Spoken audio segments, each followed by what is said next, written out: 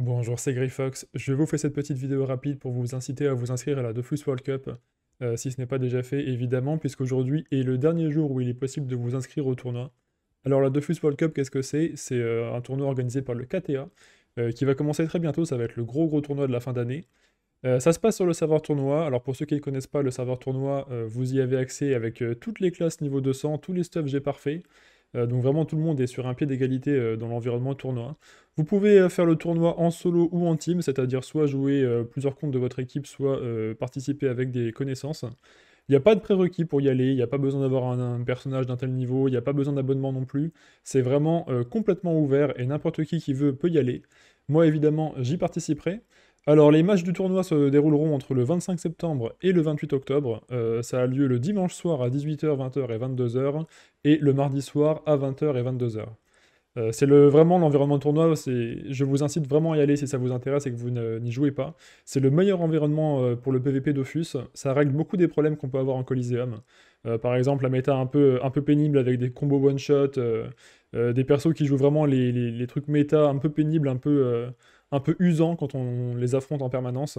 Vraiment, une grande partie de la frustration qu'a généré un Coliseum n'est plus présente en tournoi, parce qu'il y a pas mal de, modalités différentes.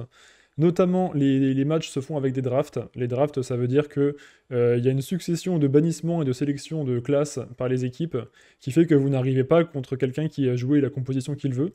Euh, donc c'est beaucoup plus riche en termes de, gameplay, en termes de, de skill, et c'est vraiment très intéressant.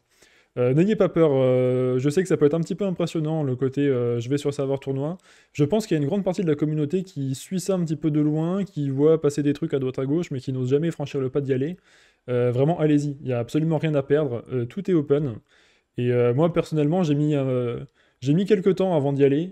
entre le moment où je me suis dit ça m'intéresse et le moment où j'y suis allé, j'ai attendu plusieurs mois, voire plusieurs années même. Euh, avec des raisonnements à base de euh, bon, je suis pas à mon top niveau, il faut que je maîtrise davantage la méta, etc. etc. En fait, il faut pas raisonner comme ça, il faut juste y aller. Euh, l'ambiance est vraiment très très cool et il n'y a rien à perdre, on s'entraîne sur le terrain Vraiment, donc allez-y, je vous incite, s'il y en a parmi vous qui sont attirés par le PVP, mais qui n'en pratiquent pas trop parce qu'ils se disent j'ai pas les stuffs sur, euh, sur officiel, etc., etc.